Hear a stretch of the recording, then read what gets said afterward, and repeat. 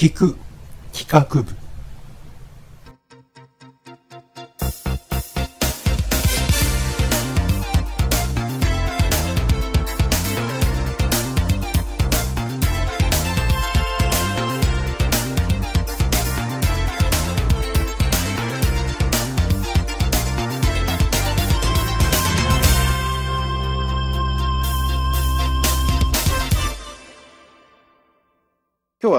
都にお邪魔してまして企画部という取り組みについて関西の方で京都と大阪と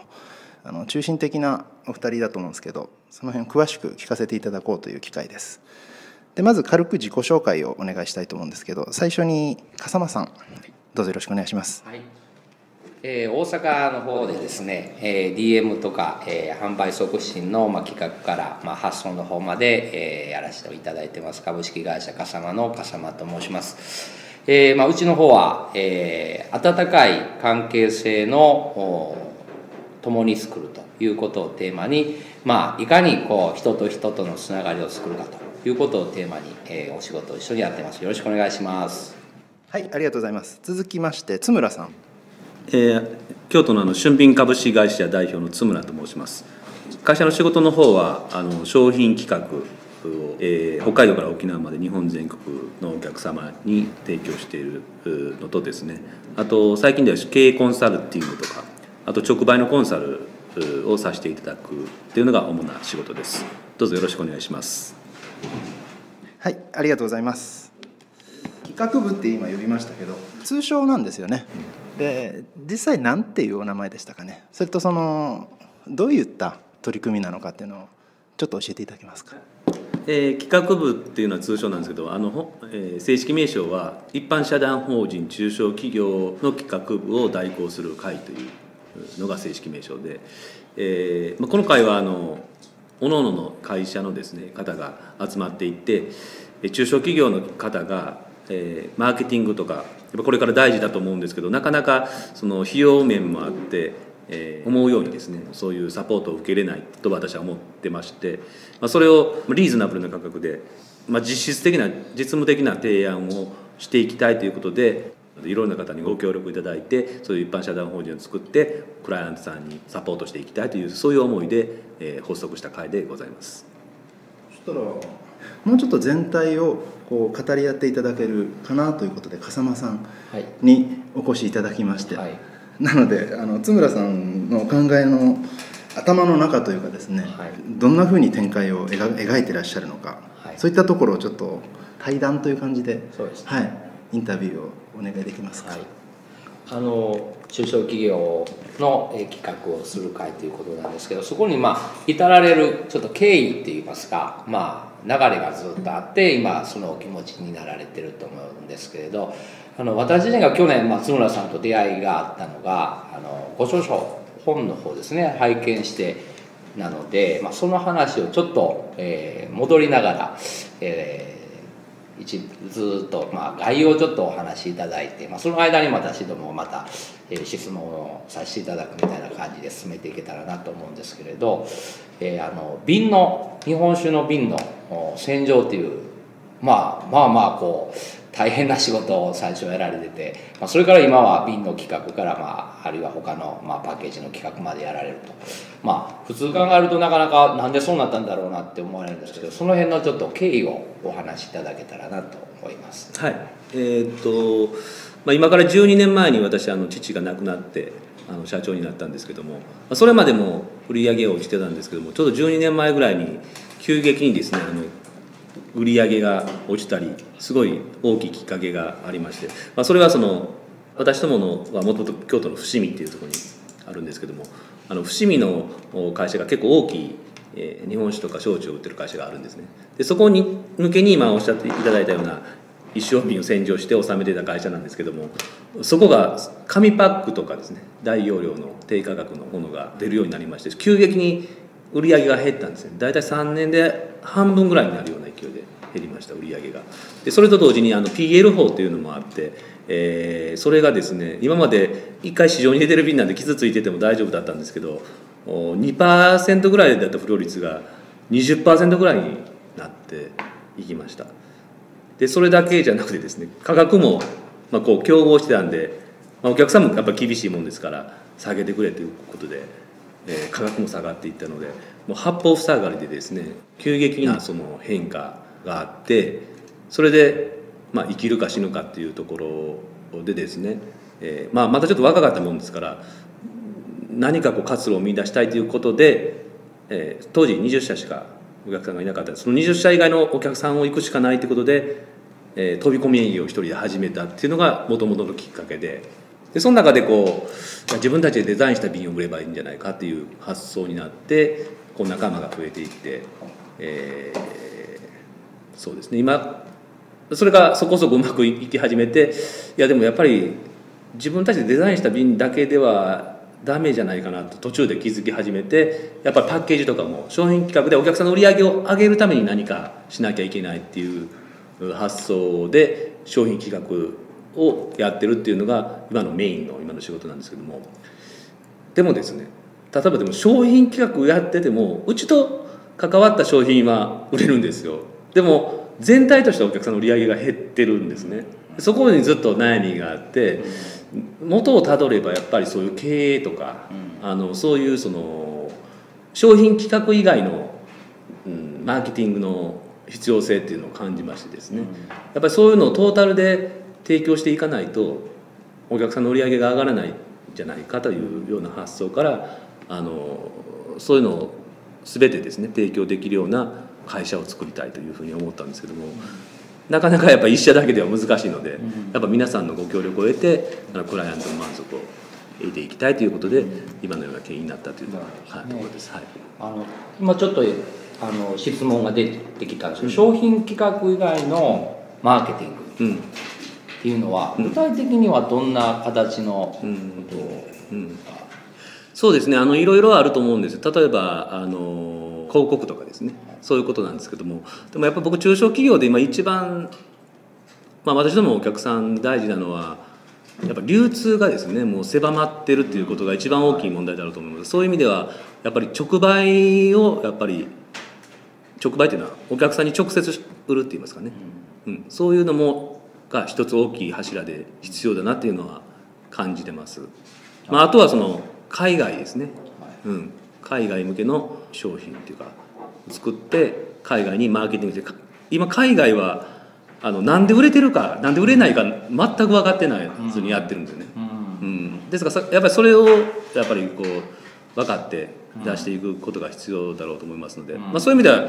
もともと商品企画っていうベースはあるから、うん。そういうマーケティングをやると同時に商品企画もできるので、まあ、そういう意味で相乗効果があるかなというふうには思っているんですけども、まあ、具体的にはその今2つがうちがやることとしては主になると思ってます。ただでもこのそれだけじゃなくていろんなことがやっぱりあるんで、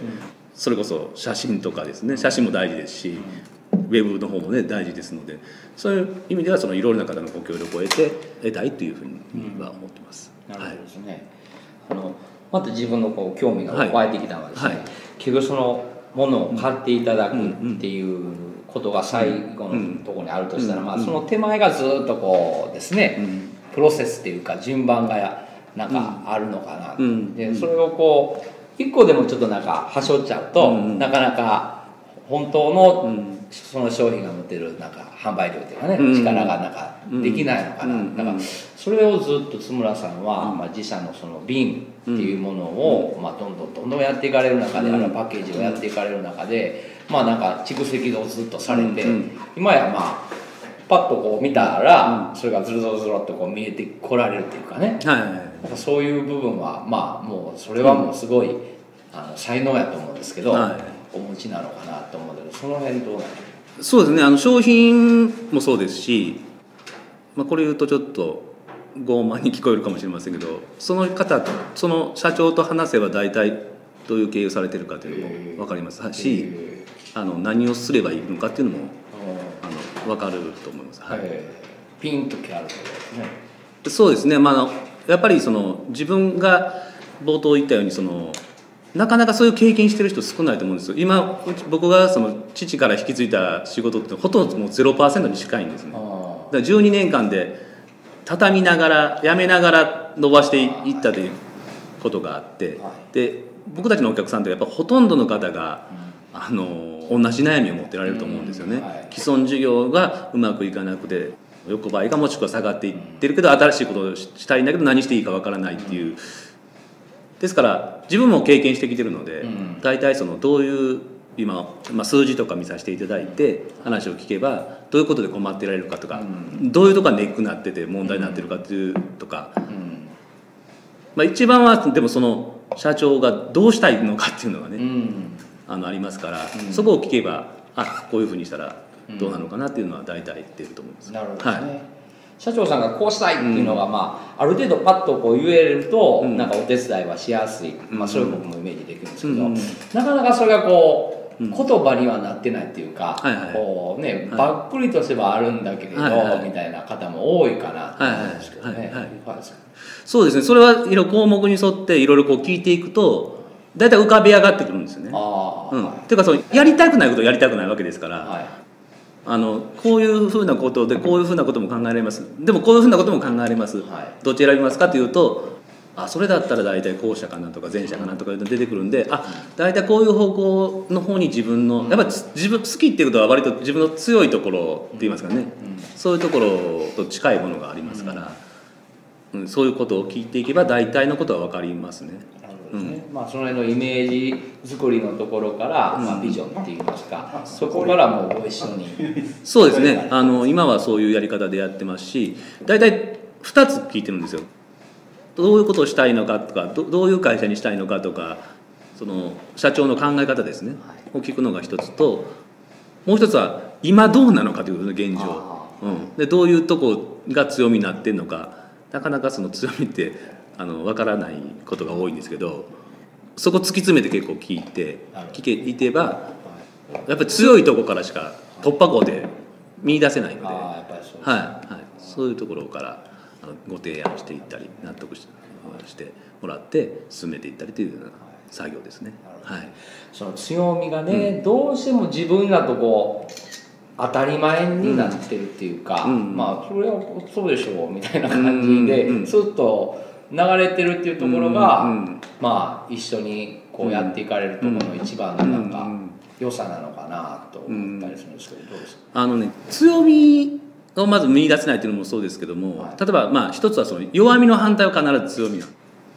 人間と一緒でバランスなんですよね、うんうん弱みの存在しない会社っていないうんとと一緒で、あの強みの存在のない会社っていない例えば営業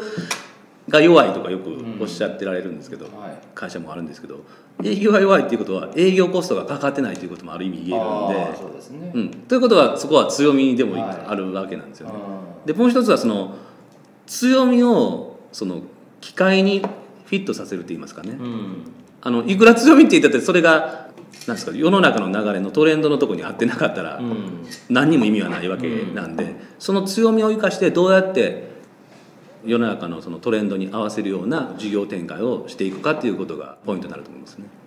そこがなんかうん私自身の弱いんやな。って今お話を聞いてて思うんですけど、うん。まあ、ノウハウみたいな部分になるかもしれないんですがそのちょっとまあご開陳いただけたらなと思うんですね、そそこはねあのいくらでも出せますよ。あのそそれはそのなんて言いますか仮説なんですよね。うん。仮説なんであの僕聞いたらいくらでも立ち上げます、だけど一番難しいのはそこじゃないんですよ実あは、ーはい。うん、その仮説をはい。どうやって実現していくか、あー。うん、その小さく成功させていくかっていうところが難しいんですよ。パイロット的に、はい。うん、まあ、いくつかのそういうのが出てきたら、うん。よしこれやろうってやっぱり決めるのはやっぱり社長。もう社長以外にないですね、うん、だけど大体それ話してじゃあこういうことをお客さんも納得されてはいやってみてくださいって言って分かれますよね。はい。大体できてないんですよね。やっぱりそのすぐできない理由っていうのが出てきます必ず、うん、そこでやっぱくじけるんですね、うあ。あ、ん、例えばどんなできない理由例えば社員がそれは無理ですよとかああの否定的な意見。あ一般的にはそういうこと言ったらコスト高になりますよとかですね、ううん。んどうやって採算を合わせるんですかとかっていうようなことが出てきますから、うん。そこで諦めてしまうんですうね、ん。孤立無縁にそうですねはいというところですね、はい。まあ、そこを、まあ、我々の企画部がはい。いろんな形で、まあ、サポートしていけれたらなと。そうですね。それもありしやっぱり考え方を変えていただく必要がやっぱあるあると思いますね、はい。その例えばグロスだけしか見ないと、新しいことなんでできないじゃないですか、だって0から1にするだけですから、うん。でも既存のやつが100を95に下がってるのを96にするのと、0を1にするのって全く違う位置なんですよ、そうですよね、うん、0を1にする方がものすごい重要な位置なはずですね、うんだけどそのグロスしか見ないとどうしてもその既存の方に行っちゃうんですよ、ああなるほどね、うん。あるものでそうそうそうそうまあちょっと伸ばしたらいいはい、だそれを社員の人にも分かってもらって、うん。自分自身もそれを踏まえてうん。やらないと、うん。新しいことなんて絶対できないと思います、うん。なるほどね、はい。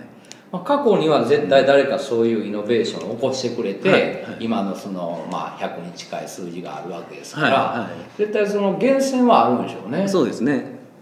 だから今既存のものが例えば上向きになったらその既存のものを土台にしてちょっとずつ創意工夫していくっていうことはできるんですよ。うん社員の方でも、はい。はいうん。だけどその新しいビジョンを持って、はい。ちょっとそこから離れたちょっと飛び石的にやるっていうのは、なかなかやっぱ社員の方では難しいし、うん。もうそこまで期待してあげたらやっぱり逆にもう気の毒と言いますかね,、うん。だからそこはやっぱり社長なんで、うんでも社長一人にそこを負わすっていうのはやっぱりきついじゃないですか、まあね何でもうん。またたくさんやらないかんそうですね。で僕もそこですごく悩んではい。誰かそういう人いないかなって探した口なんで、はい。えだからちょうど今やってることは12年前の僕を助けるみたいなんですね。ねうんそういうところはあるんだと思います、はい。はい。えやがてそういう方々がまた仲間に皆さんがこうネットワークになっていかれるとまたいいですよね、企画うん部が、まあ、お手伝いした、まあ、経営者の方々がうんまたこうやってつながっていかれるとね、はいはい。よりまた大きななんかそうですね。流れになっていくかなまああの元々の動機がね、まあ、笠原さんもよく言ってやるんですけど、ぜ善じゃないですか。そうですね、うん、ですからやっぱり善のやつっていうのはやっぱり広がると思うんでね。はい。ぜひともはい、頑張っていただけたはい。ら、あその当事者意識がないとダメですけど私も頑張ります。はい、お互い頑張りましょう。はい